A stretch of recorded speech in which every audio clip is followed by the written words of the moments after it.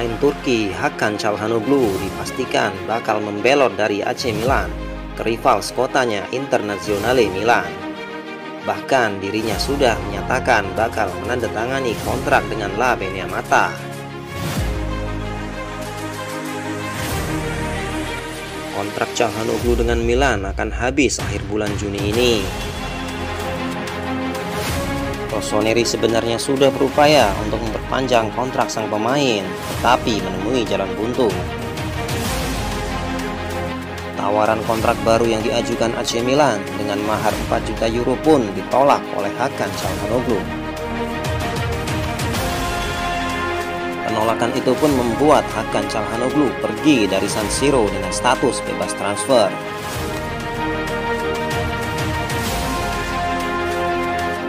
Sebenarnya langkah ini cukup mengejutkan, apalagi gelandang 27 tahun ini memutuskan tetap di kota Milan untuk membela sang rival.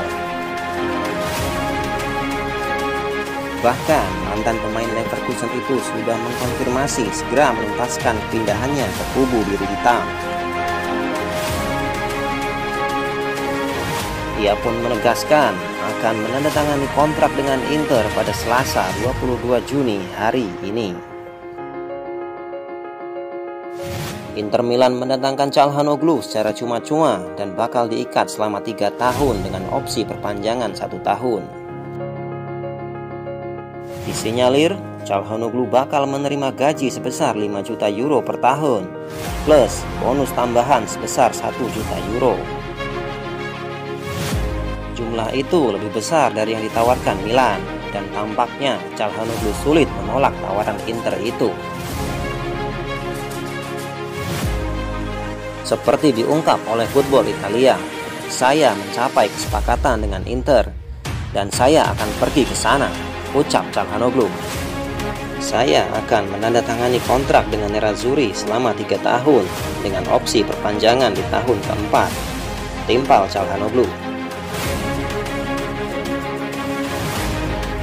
Calhanoglu rela berkhianat dari Milan yang telah dibelanya selama lima musim sejak musim panas 2017-2018 dari Bayer Leverkusen.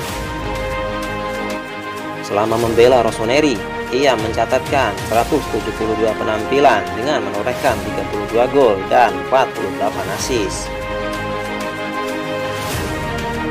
Meski dirinya gagal memberikan trofi untuk Milan, ia sudah berkontribusi membantu Milan kembali ke Liga Champions.